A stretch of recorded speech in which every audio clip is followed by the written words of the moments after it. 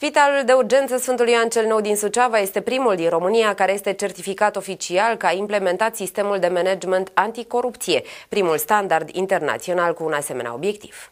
Managerul spitalului Vasile Râmbu a declarat că certificatul a fost înmânat reprezentanților spitalului într-un cadru oficial în prezența reprezentanților Ministerului Sănătății, Autorității Naționale de Management al Calității în Sănătate, Direcției Naționale Anticorupție și Poliției. Scopul standardizării acestui sistem este de a pune pacienții pe poziția de egalitate în fața serviciilor medicale acordate în spital, indiferent de poziție socială și veniturile acestora. E un, un standard nou, nu este invenție românească, este din, 2000, din 2016 și se, se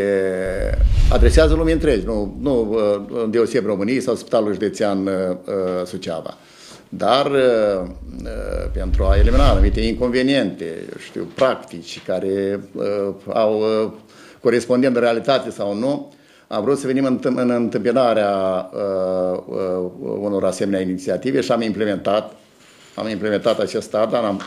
standard, am primit certificatul într-o, uh, într-o, într-o într-un cadru uh, oficial, uh, cu prezența și Direcției Generale Anticorupție, și uh, Direcției Generale Anticorupție și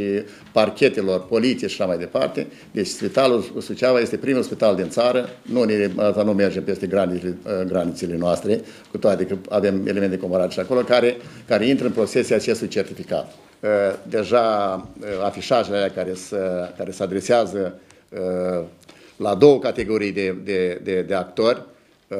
sunt, sunt deja pe, uh, pe căile de acces, ușile de intrare în spital, în secții, în care atenționăm și pe cei care uh, provoacă și pe cei care pretind, sau pe cei care, asta, care știți foarte bine, nimeni în lumea asta nu, nu, asta nu rez, re, rezistă